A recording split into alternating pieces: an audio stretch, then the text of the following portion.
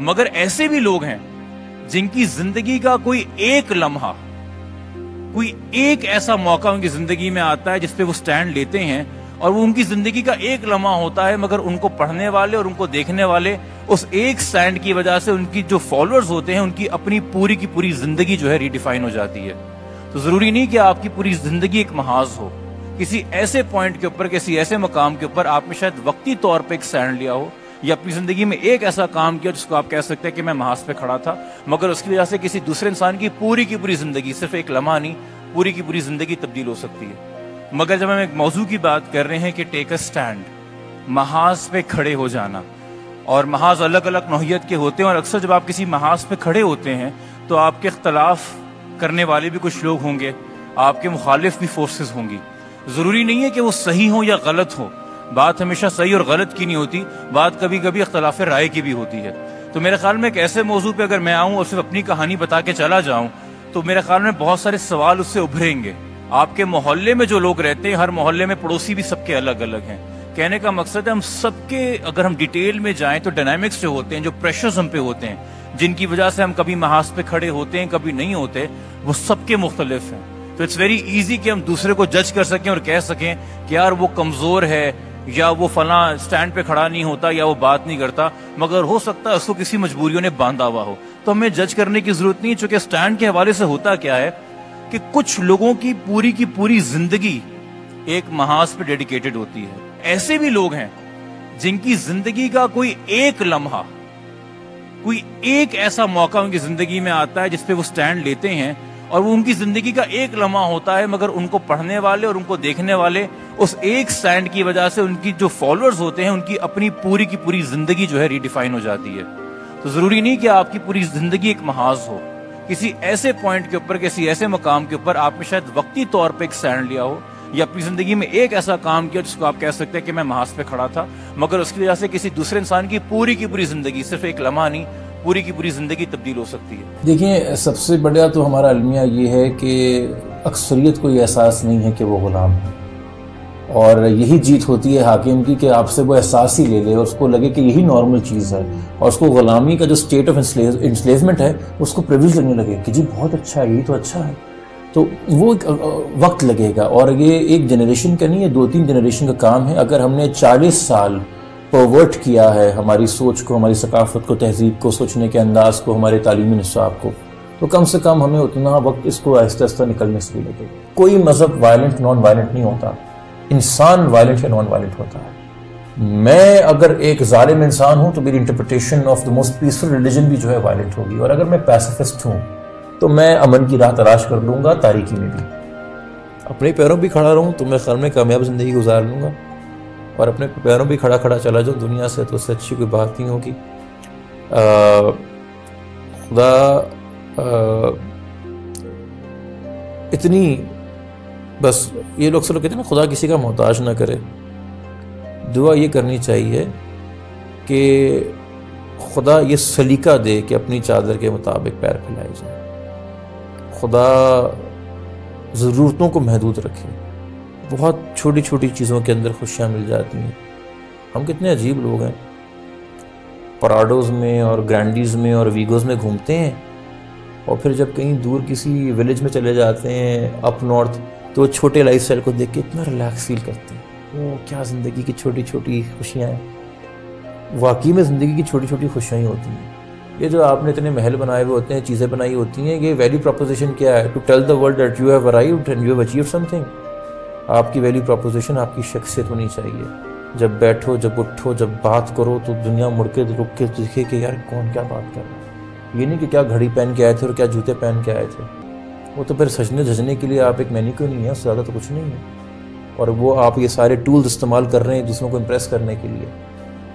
Simple चप्पल और शलवार कमीज़ में भी आओ, मगर शूर और अकल इतना हो कि दुनिया रुक के सुने आप।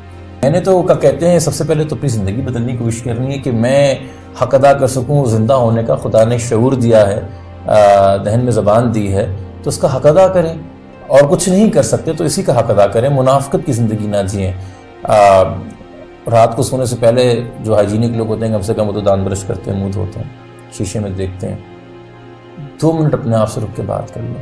पता होता है आज कितनों को चूना लगाया, आज कितनों से झूठ बोला, आज कहाँ खामोश रह गए, आज कहाँ सुस्ती की कितने एफिशिएंट थे, कितने नहीं थे। हम सबसे बात करते हैं, कुछ रात को ना अपने आप से बंदा बात कर लिया करे, अपनी अदालत में झाँक के देख लिया करे, चीज़ें आसान हो जाती हैं। और ये भी ध्यान में रखें कि हर इंसान ने शेरवानी पहन के जो है ना पाँच सौ रुपये के नोट पे शक्ल नहीं बनानी।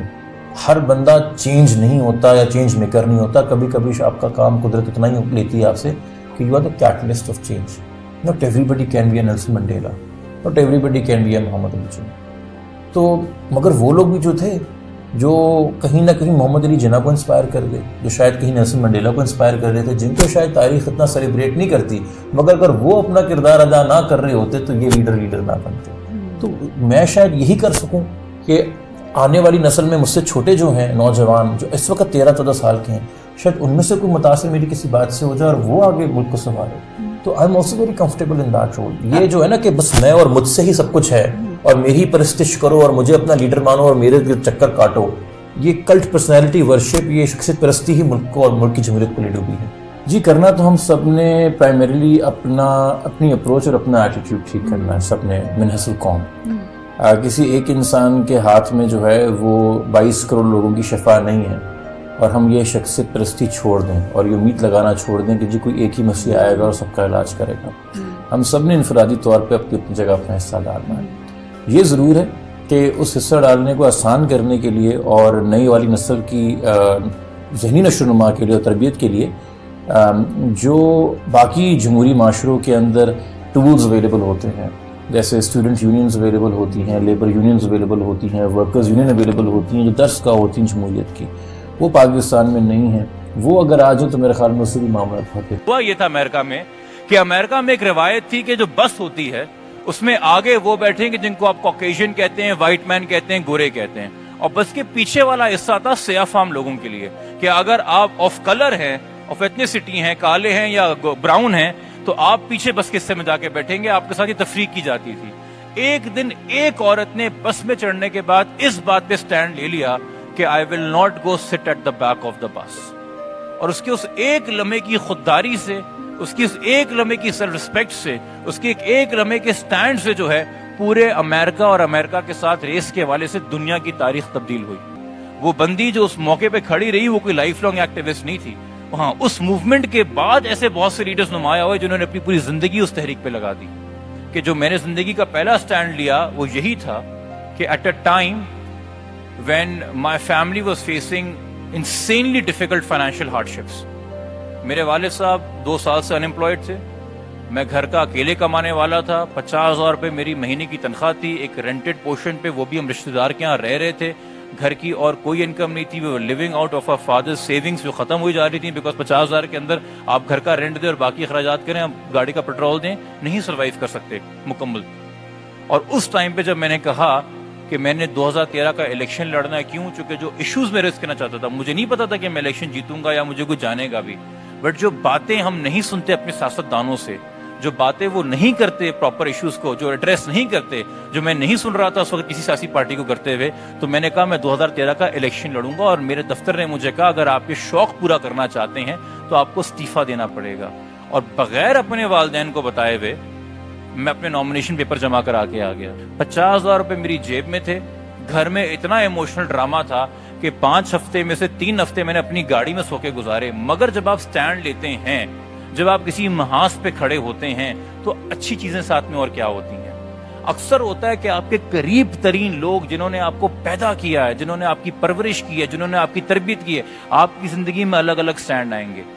किसी का करियर के हवाले से आएगा, किसी का नौकरी के हवाले से आएगा, किसी का इश्क माशूकी के हवाले से आएगा, किसी का माशरे में किसी तब्दीली के हवाले से आएगा। अक्सर होता है आपके बिल्कुल साथ जो खड़े होते हैं, जिन्होंने आपको पैदा किया होता है, आपकी परवरिश की होती है, वो आपकी फीलिंग्स नहीं समझ पा रहे होते। वो आपका नज़रिया नहीं समझ पा रहे होते, वो आपका व्यू नहीं समझ पा रहे होते और वो जस्टिफाई नहीं कर पा रहे होते अपने आप को कि क्यों आप ये करियर सुसाइड करने जा रहे हैं, क्यों आप सब कुछ जो है वो आइडियोलॉजी के नाम के ऊपर, जो भी आपकी so called ideology because they don't share the same ideology तबाह करने जा रहे हैं। मगर जब वो पचास हज़ार रुपए लेके मैं घर से बाहर निकला, मैंने एक ब्लॉग लिख के डाला एक्सप्रेस ट्रिब्यून के ऊपर that I am a common citizen of Pakistan and I want to see how far can I go in an elections in Pakistan उस ब्लॉग के बाद मुझे एक औरत ने बुलाया कराची में, अपनी आर्ट गैलरी में, जिनका नाम सबीन महमूद था द सेकेंड फ्लोर के नाम से। मेरी उनसे पहले कभी मुलाकात नहीं हुई थी।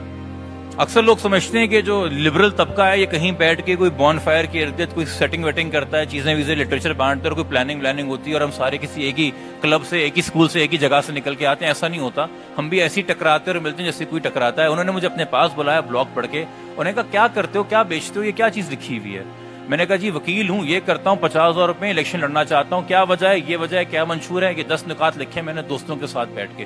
लिटरली एक पेज का मेरा मंशूर था, दस पॉइंट चौदह पॉइंट मैंने लिख लिए थे। उन्होंने कहा, पचास हज़ार में क्या आएगा?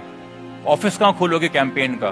मैंने कहा, मुझे नहीं पता, मेरे पास ऑफ़िस नहीं है। उन्होंने कहा, ये मेरी आर्ट गैलरी है, ये आज से तुम्हारा कैंपेन ऑफ़िस है। उन्होंने कहा फोटोशूट वगैरह कराए हैं पोस्टर वोस्टर लगते हैं इलेक्शन के अंदर? मैंने कहा, मेरे पास उसके भी पैसे नहीं है, ना मैं किसी फोटोग्राफर को जानता हूँ। उन्होंने अपने दोस्तों को फ़ोन किया, जो डिजिटल मीडिया एजेंसियाँ चलाते थे, उन्होंने कहा, इधर आओ, इस लड़के के, मैनिफेस्टो को, इस लड़की की तस्वीर को जरा फ्री में एक फ़ोटो सेशन करके वो चीज़ें तैयार कर दो, वो मेरे लिए तैयार कर दी गई।